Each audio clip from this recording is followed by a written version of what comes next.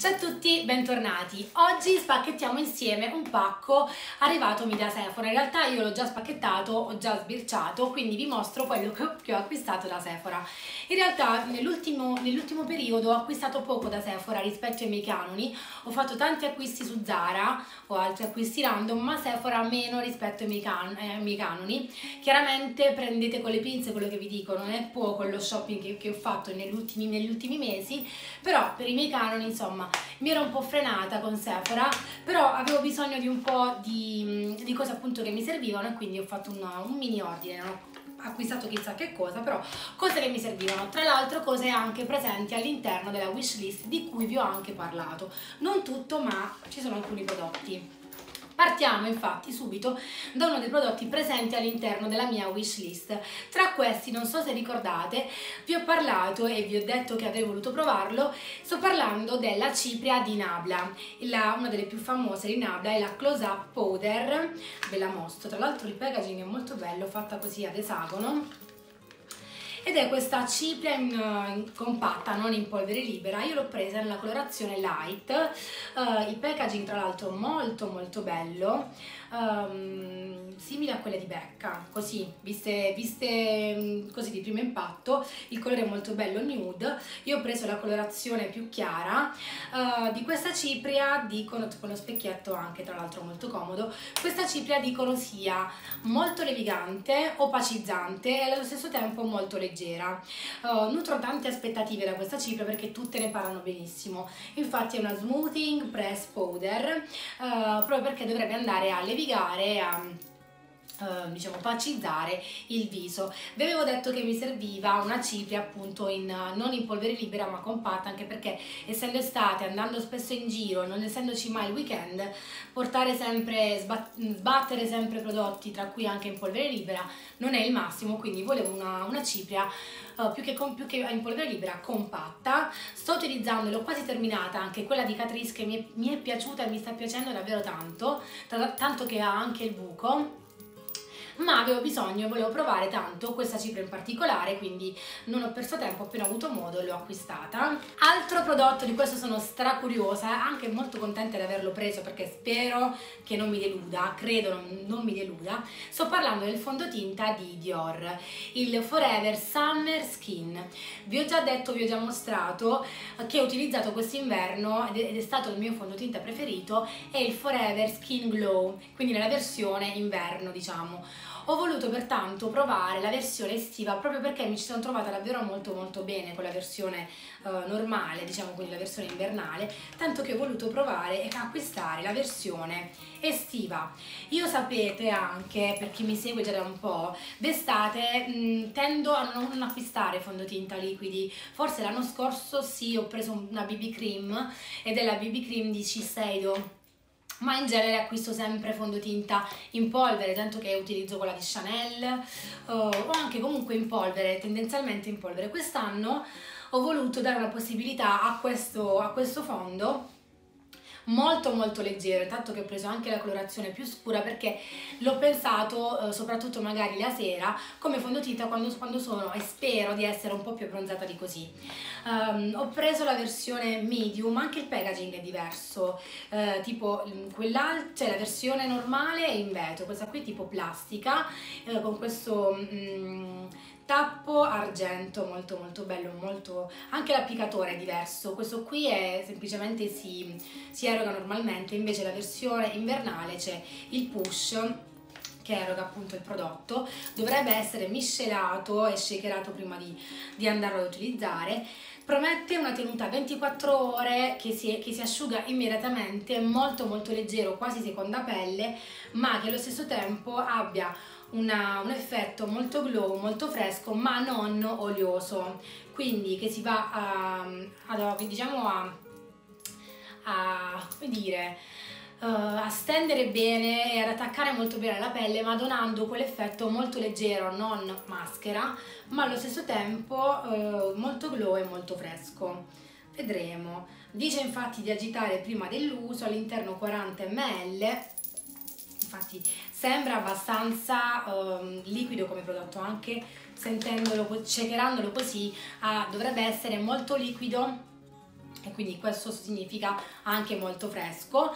Uh, cercherò magari di fare un video dove vi, mostro anche all'opera questo prodotto perché io prima di acquistarlo uh, ho provato anche dei campioncini di altri prodotti, però quello che da subito mi ha convinta è stato proprio lui, sia perché lo volevo provare, o, um, mi sono convinta e tra quelli che ho provato uh, ho alla fine scelto appunto lui, tra i, tra i campioncini che ho provato, certo con un campioncino di due o tre utilizzi non si riesce bene a capire capire quanto possa, possa fare per voi il prodotto, però insomma più o meno già nelle prime applicazioni potete capire anche che tipo di prodotto è, quindi mi ha convinto per questo e sono molto contenta e molto mm, curiosa di provarlo per bene, per parlarvene un po' meglio. Questo è quello che promette, però vedremo un attimino se effettivamente è così.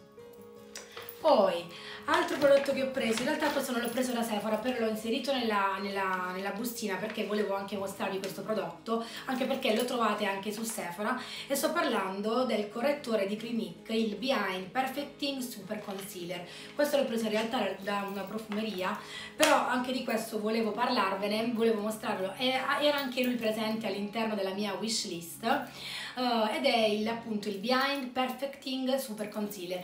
È un correttore, mh, mm, dovrebbe essere abbastanza coprente ma allo stesso tempo uh, molto leggero che va che allo stesso tempo, oltre che leggero, molto idratante, che va anche a mm, diciamo sgonfiare un po' le borse, diciamo così, con una tenuta di 24 ore, eh, coprenza totale ma allo stesso tempo abbastanza leggero. Di questo anche io nutro, nutro abbastanza uh, aspettative.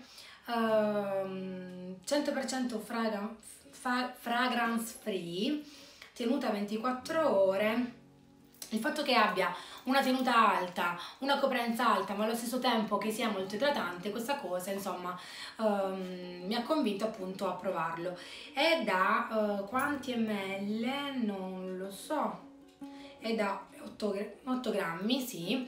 Uh, in realtà questo qui l'ho già provato un paio di volte uh, e in, in, realtà mi ha fatto una buona impressione perché non è molto passoso, quindi si stende molto bene, è abbastanza idratante, quindi questa cosa uh, già dalle prime applicazioni mi ha fatto dire ok, però vedremo anche con, col tempo perché insomma i prodotti vanno provati. Poi ho preso due prodotti di skincare, anche questo qui era un prodotto che volevo provare, sto parlando, cioè perché in realtà avevo bisogno di un pensiero e al che mi sono convinta e ho preso questo qui di Mario Badescu, l'Herbal Hydrating Serum ed è questo qui. Allora io ho preso questo siero principalmente perché ne ho altri ma che hanno all'interno la vitamina C, tanto che ho, ho, quello che ho trovato all'interno della mia ultima uh, beauty box di Look Fantastic ho appunto trovato un siero con all'interno vitamina C, però io d'estate tendo ad evitare i sieri con vitamina C o prodotti che abbiano all'interno della vitamina C proprio perché sono fotosensibili, sono particolari, quindi um, so già che magari con l'esposizione al sole non dovrei, non posso utilizzarli. La cosa che mi ha convinto in realtà è stato appunto uh, il fatto che fosse molto idratante ed estate appunto avendo bisogno di molta idratazione l'ho preso non mi sembra profumato, all'interno delle erbe che non vi so dire bene quali, quali siano, uh, però lo andrò a provare ben, per bene vi dirò appunto quello che penso ve ne parlerò per bene. È da 29 ml e anche di questo sono molto curiosa perché i prodotti di Mario Badescu sono molto molto chiacchierati e um, molto molto anche recensiti bene, ecco, quindi sono anche curiosa di provare questo prodotto.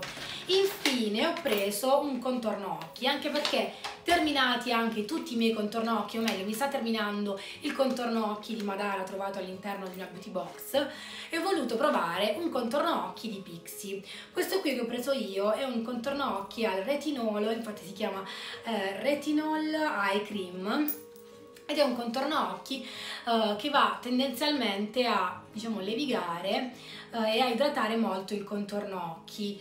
Um, dovrebbe essere ah e anche ad illuminare quindi che va a donare un contorno occhi um, come dire idratato luminoso e levigato. Diciamo no levigato e luminoso.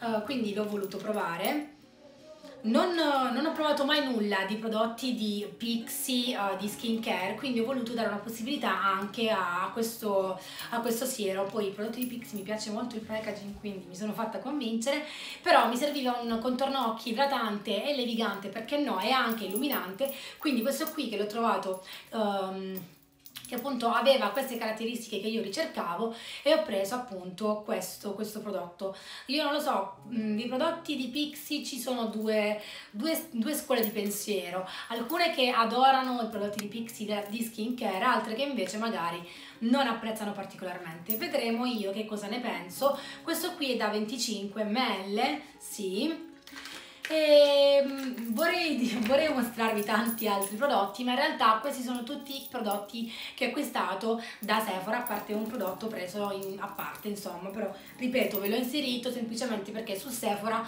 lo potete trovare perché c'è all'interno anche della, della, mia wishlist quindi potete, potete appunto reperirlo anche da Sephora. Infatti vi metterò tutti i link dei prodotti che vi ho mostrato. E nulla spero che questo video vi sia piaciuto di avervi tenuto compagnia. Ditemi che cosa ne pensate dei prodotti che acquistate acquistato, se li avete provati anche voi, fatemi sapere quello che pensate. E nulla, io come sempre vi mando un bacio e ci vediamo presto. Ciao!